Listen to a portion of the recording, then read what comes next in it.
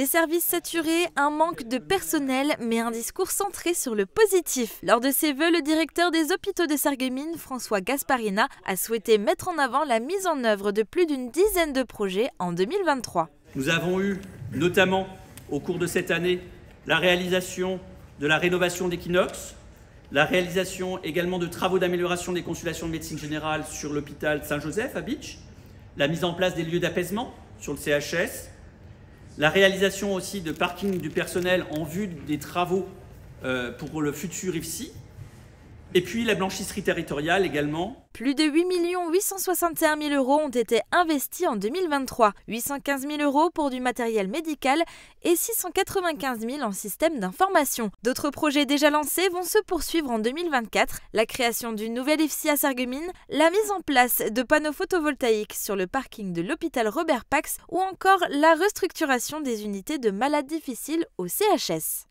Cette année 2023 était l'année où on a élaboré un nouveau projet médico-soignant, médico-soignant qui sera le fil conducteur euh, des, des prochaines années.